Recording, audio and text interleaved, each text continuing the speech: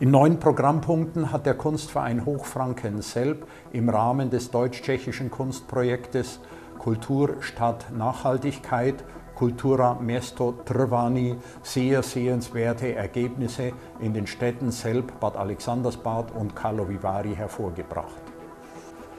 Sehenswert ist für einen Kunstverein ja nicht gerade nennenswert, hörenswert jedoch schon.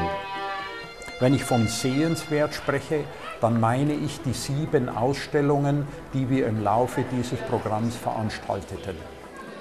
Die Eröffnungsausstellung mit Arbeiten von Leihgaben der Galerie Umjeni in Karlovy Vary im Rosenthal Theater zeigte Bilder von tschechischen Künstlern aus der ersten Hälfte des vorigen Jahrhunderts. Sie haben wiedergegeben, wie ihre Siedlungen damals aussahen und wie die Menschen darin lebten.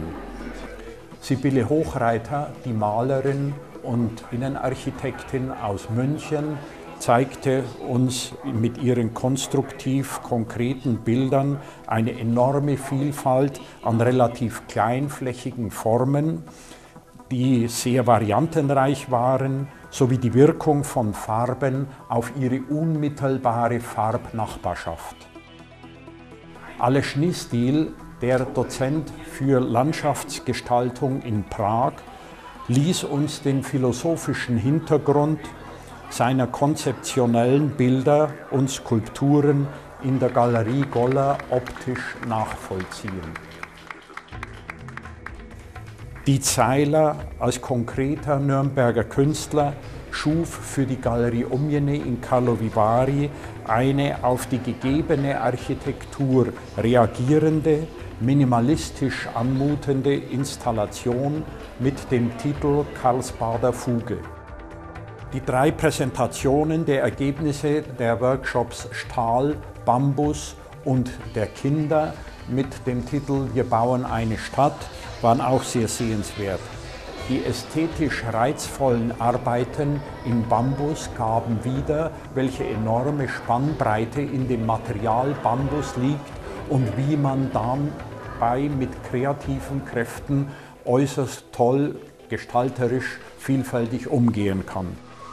Und die Kinder zeigten mit ihrer schöpferischen Fantasie, wie sie sich eine Stadt in der Zukunft vorstellen könnten. Wir kommen zu euch aus der Zukunft. Hörenswert war die Rede von Sibylle Hochreiter unter dem Titel Über den Tellerrand.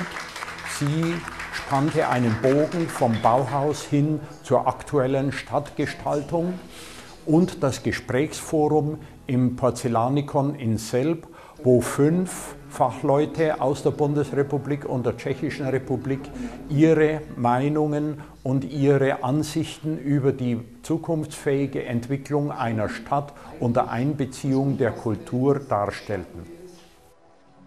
Für sämtliche Programmpunkte können wir zweifellos behaupten, dass wir eine hohe Qualität erzielen konnten durch die Auswahl, die wir vorgenommen haben. A, der Künstler, deren Werke wir ausstellten. B, jener Künstler, die wir zu Workshops eingeladen hatten und auch dieser Leute, die bei Veranstaltungen des Wortes uns ihre Ideen näher brachten. Die Stahlskulpturen sind in einem drei Wochen andauernden Stahlsymposium im Porzellanikon selbst entstanden. Unter der Leitung des Dozenten Helmut Hahn haben drei deutsche und drei tschechische junge Künstlerinnen, die am Anfang ihres Berufslebens stehen, versucht, mit diesem harten Material umzugehen und ihm Gestalt zu geben. Die Aufstellung der Arbeiten nehmen wir wieder gezielt zusammenhängend vor, also in einem Park, so ähnlich wie wir das auch 2008 und 2010 mit unseren Granitskulpturen machten. Die Skulptur von Susanna Konchelova heißt Element. Ihre organische Arbeit steht im Zusammenhang mit der Natur und mit der Stadt selbst. Die drei Bündel von Metallstäben symbolisieren die Elemente Erde, Wasser und Luft.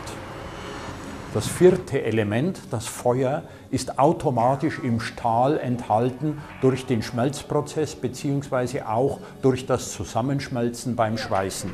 Und diese Elemente werden vergleichbar wie beim Stahl auch bei der für Selb typischen Porzellanproduktion eingesetzt.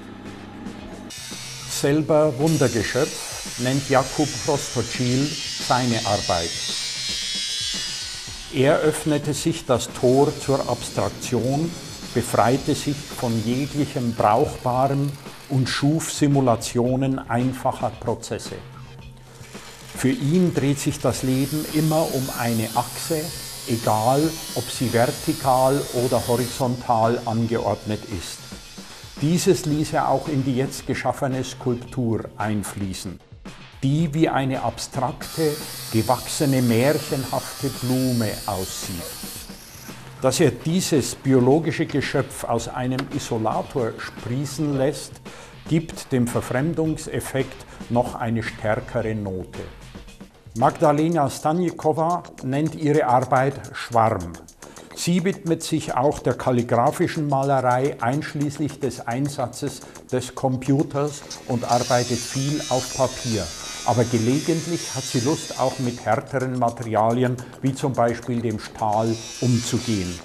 Die von ihr geschaffene Ansammlung von etwas verfremdeten Vögeln rechtfertigt den Titel Schwarm hundertprozentig. Man sieht der Arbeit trotz der Verwendung des Stahls auch eine Leichtigkeit der Vögel in der Luft an. Clemens Hutter schuf Eiswürfel Nummer 17 bis 23. Er versucht, dem Material Stahl Eigenschaften abzugewinnen, die man ihm nicht auf den ersten Blick ansieht. Zum Teil schweißt er Stahlstreifen übereinander und beim Biegen dehnen sich die drüberliegenden und die drunterliegenden bilden Verwerfungen. Hier bei unserer Arbeit hat er die Natur als Gestalter mit einbezogen, allerdings erst in der Zukunft. Wasser wird in die Würfel eindringen und der Frost wird die Würfel im Laufe des Winters irgendwie dehnen. Prinzip heißt die Arbeit von Mark Hickmanns.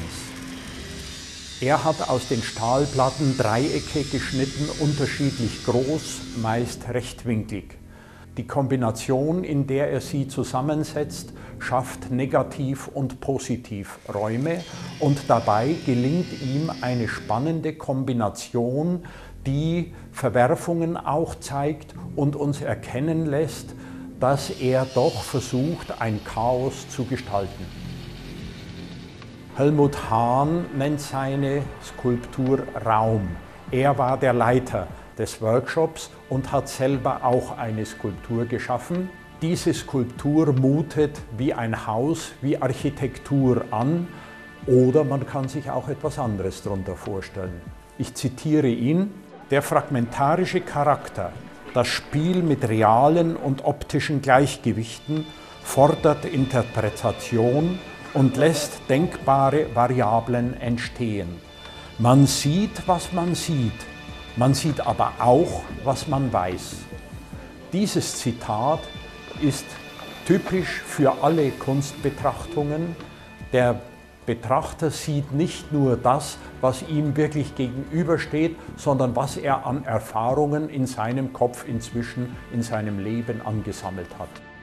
Die sieben Künstlerinnen und Künstler haben trotz des einheitlichen Themas sehr unterschiedlich das Thema wiedergegeben und sehr unterschiedliche Skulpturen geschaffen.